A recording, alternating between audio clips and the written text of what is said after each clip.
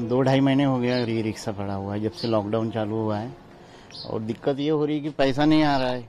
हम लोग जैसे भी रोजी रोटी कमाते थे, पाँच सौ छः सौ रुपये जो भी पर डे आता था, वो आना पूरा बंद हो गया। एकदम जितना कमाए थे अभी, वो खा रहे हैं अभी। अभी बहुत ही तकलीफ़ जा रही है पैसों की।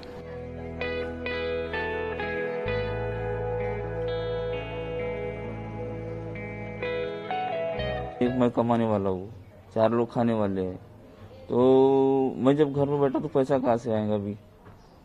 और कैसा भी हमारी रोजी रोटी थी जो चार सौ रुपये तीन साढ़े तीन सौ, जो भी रोजी थी, अभी पूरा ठप है अभी। और जैसा दस बारह दिन आदमी कैसे ही संभाल लेता था, अभी तो पूरा दो महीने हो गए। और दो महीने हो गए तो हो गए अभी मतलब अभी अभी क्या करना, कुछ मालूम, समझ नहीं और किसको मांगने का? क्योंकि आजू बाजू वाले सब घर में बैठे जो आजू बाजू जो लोग सपोर्ट कर, कर, करना चाहते थे वही लोग घर में बैठे तो आजू बाजू वाला कहाँ से देगा? उसकी तो परेशानी है ना।